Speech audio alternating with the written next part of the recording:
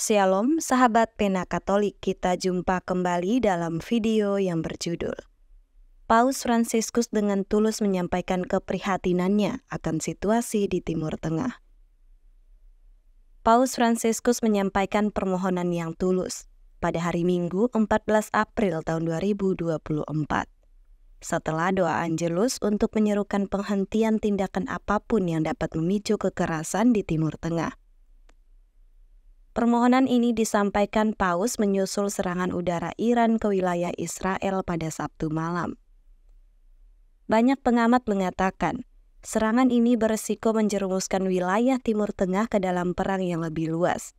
Paus mengatakan ia mengikuti dengan doa dan keprihatinan, bahkan kesedihan, atas berita yang muncul dalam beberapa jam terakhir tentang memburuknya situasi di Israel setelah intervensi Iran. Seperti diberitakan Vatikan News, Paus menekankan bahwa tak seorang pun boleh mengancam keberadaan negara lain. Dan sebaliknya, semua negara harus berpihak pada perdamaian. Setiap negara perlu membantu Israel dan Palestina untuk hidup di dua negara berdampingan dengan aman. Itu adalah keinginan mereka yang dalam dan sah, dan itu adalah hak mereka, dua negara bertetangga. Paus menambahkan.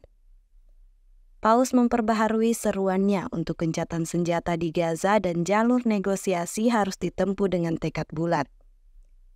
Ia mengingat penderitaan penduduk di Gaza yang terjerumus ke dalam bencana kemanusiaan. Ia menyerukan segala upaya untuk meringankan penderitaan mereka. Paus berdoa agar para sandera yang diculik beberapa bulan lalu dibebaskan. Begitu banyak penderitaan. Mari kita berdoa untuk perdamaian. Tidak ada lagi perang, tidak ada lagi serangan, tidak ada lagi kekerasan. Ya untuk berdialog dan ya untuk perdamaian. Seru Paus Fransiskus. Paus juga memperbaharui doanya untuk anak-anak di seluruh dunia yang menderita akibat banyaknya perang di dunia kita.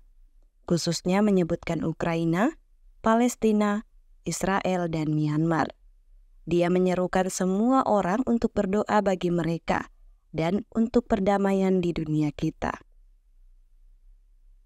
Artikel selengkapnya dapat sahabat Pena Katolik akses melalui website resmi penakatolik.com.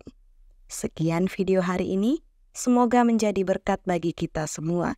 Terima kasih dan sampai jumpa.